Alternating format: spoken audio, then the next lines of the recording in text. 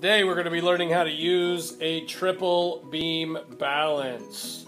This is a really fun tool and with this tool you're going to uh, be measuring a, an object's mass.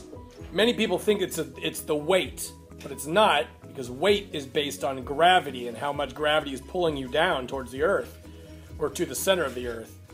Mass is how much is actually in an object and we're going to do that by balancing it with using these sliders right here.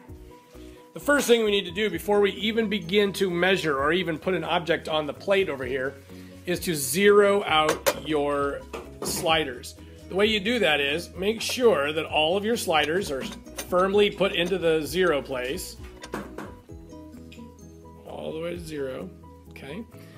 All right, so as you can see, I've got the triple beam balance zeroed out. So now we're going to place our object that we're going to measure its mass up on this plate. And once again, we've got our good friend Mr. Bacon. Hello, Mr. Bacon. Let's have you uh, go ahead and just move yourself right on up there. There you go. There he is sitting on the plate.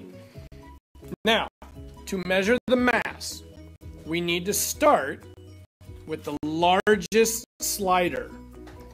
Move it over one time and it's going to click into place. Now listen. See?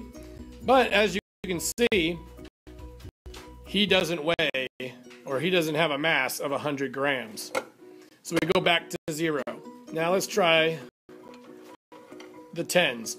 I like to start somewhere in the middle and see, since I know it's not 100, looks like it's not 50.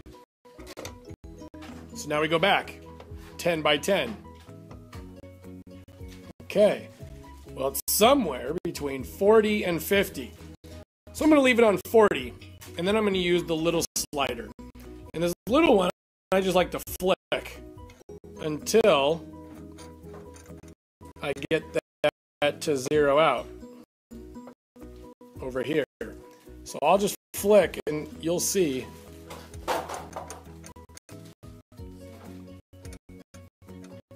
starting to go up again.